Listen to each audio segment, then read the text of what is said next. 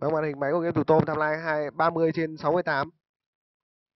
Liên tục nhồi đồ cho game thủ Gandhi để Gandhi có thể vâng để Gandhi có thể sóc đều ra những tấn cung A sắp tới. Tương đối nhùng nhằng. Một thế trận tương đối nhùng nhằng. 29 trên 44 là tham lai lúc này. Nhưng game thủ màu 6 bây giờ đang là người ủ mưu chơi cái gì đó đều quan trọng.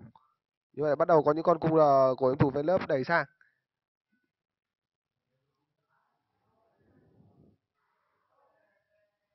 Ý đồ đánh cung A đã bị Van Lớp phát hiện nhưng bây giờ được cung A hai áo rồi. Vâng, Tôm cũng sang thủ luôn cho tên này. Nói chung mọi thứ đang ổn.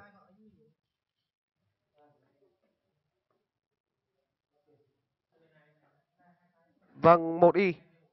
hai y. Và như vậy Van Lớp sai rồi, một không ở trong uh, C đấu một không ở trong C đấu thứ hai. Dành cho uh, hai cầu thủ đến từ Thái Bình.